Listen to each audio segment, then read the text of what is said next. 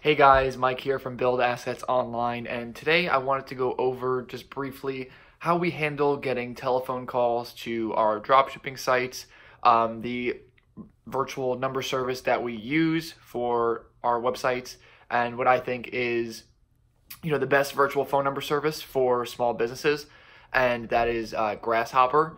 So Grasshopper is essentially the only tool that we use to actually handle calls for our high ticket drop shipping sites. And if you're not familiar with Grasshopper or kind of what a virtual phone system is, essentially what a virtual phone system allows you to do is you can buy a toll free number, you can buy a local number, and I'm going to go into the differences later. Um, so you buy a number and then you know you put it on your website and then when someone calls that number the virtual phone service essentially just forwards it over to your cell phone and then you know you see who's calling you see what store it is then you just answer and proceed from there. So yeah um, so with grasshopper we use a bunch of different features on it and it really helps us um, kind of maneuver our business in a you know make make things super easy to run from your phone and kind of just minimize the amount of phone work that we need to do in general. So the first thing grasshopper um, prompts you to do once you you know go to the website is you have to select the number that you're going to be using. So you can either use a toll-free number like an 800 number or you can use a local number. And so we've done both. In the past, we've used Google Voice, which gives you a free local number, and that's an option that you can use. You know, if you don't want to spend money, um, Grasshopper is I think about $24 a month right now for the most basic service, and that's what we use even on our you know our big websites. But so when you have a local number, um, you kind of are coming off as a small, you know, mom and pop type store. You know, maybe people will see you and they'll say, okay, this person is in my area. Uh, they'll recognize the area code and you can get business like that. That is a plus of having a local phone number. Having a, an 800 number kind of gives you more authority, especially if you can get a number that is actually, you know, starts in 800 um, you can get 800 numbers that are, for example, like um, 844 or, you know, 832, something like that. And yeah, again, that will just give you more authority. I think when people see, you know, 800, that um, kind of gives a bit of trust for your website. And yeah, um, for our bigger stores, we use 800 numbers, and we've we've tried local numbers in the past, and doesn't seem to affect sales that greatly we have made some pretty pretty big sales um, on our sites that had local phone numbers. So whichever you choose doesn't really matter. Uh, you'll be the ultimate judge of that.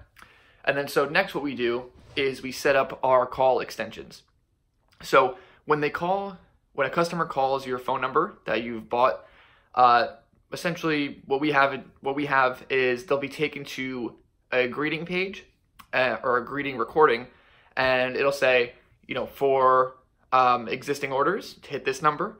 For new orders, hit this number. Or just to talk to a representative, hit this number. And so when you first um, are getting started, this isn't as necessary.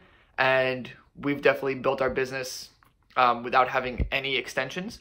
But nowadays, you know, it makes it really, really easy when it comes to choosing what calls you're going to take. Say, you know, it's outside of regular business hours and you have a call coming through, say it's at like 9 p.m and you're not doing anything, but you know, what the heck, you pick it up.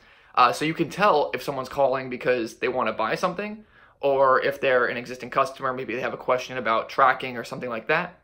And so typically what we do is we take calls um, for existing, you know, existing customers during our scheduled business hours.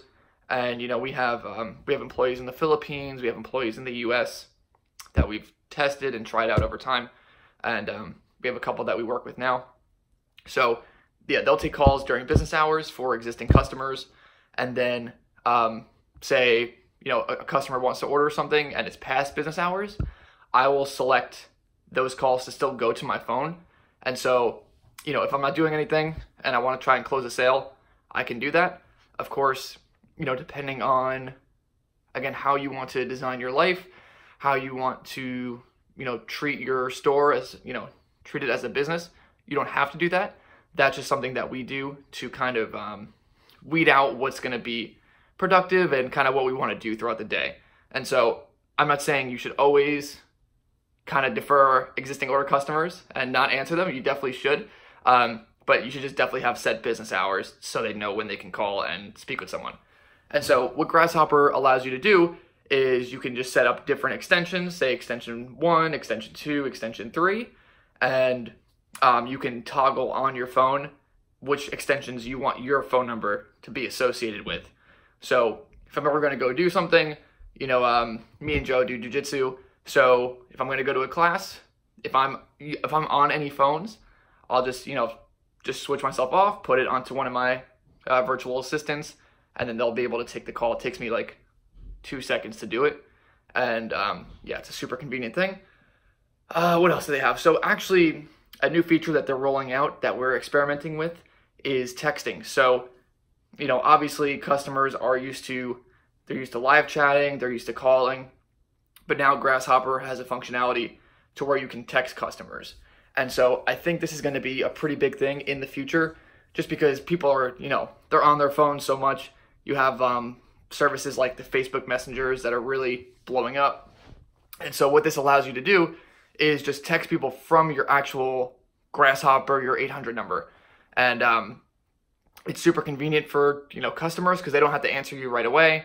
And they don't, you know, kind of calling sometimes is intimidating. And uh, it just just makes the process smoother and some people just prefer to text. And so, yeah, we've been experimenting with that. It's uh, gone well and it just reduces, you know, the actual phone time that you need.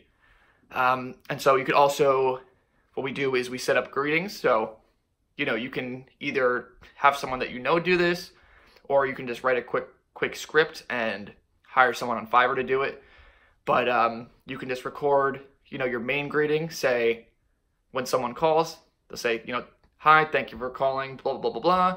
And then they'll, you know, read off the extensions and then the customer will know how to proceed. And then you set the hold music that you want. So it could either be, you know, um, nothing or, you know, Grasshopper has different sounds you can choose from. And if no one answers, then you can select the the voicemail greeting that you want.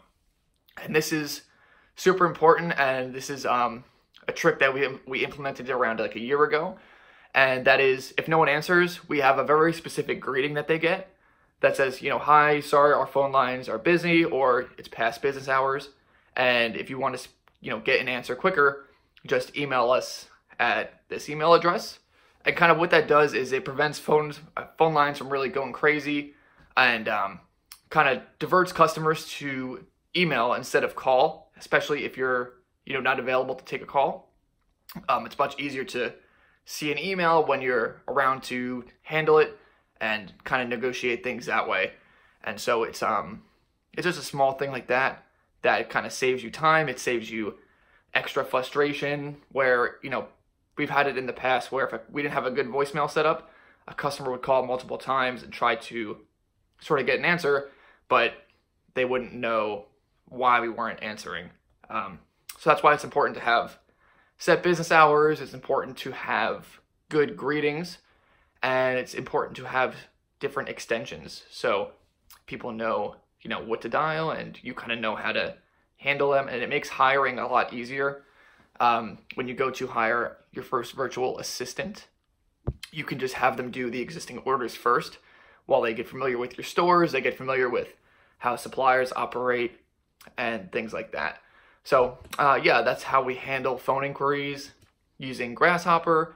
And um, we have only tried a few different virtual call forwarding services, but we really we really feel strongly about Grasshopper.